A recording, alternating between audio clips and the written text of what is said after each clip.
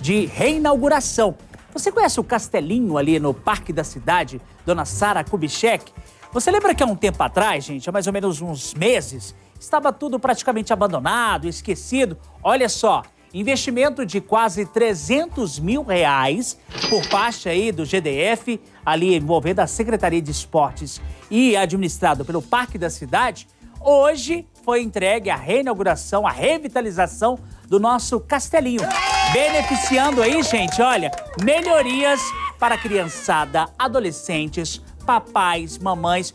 Olha só a pintura, gente, do castelinho. Que estava tudo esquecido, pichado, abandonado, insegurança tomando conta do local. Agora não, a gente tem o playground novinho, tudo revitalizado e a criançada aproveitando bastante.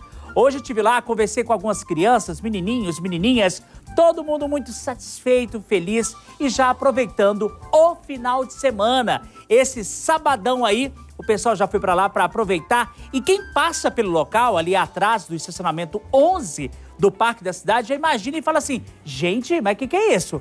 Esse é aquele castelinho que estava esquecido?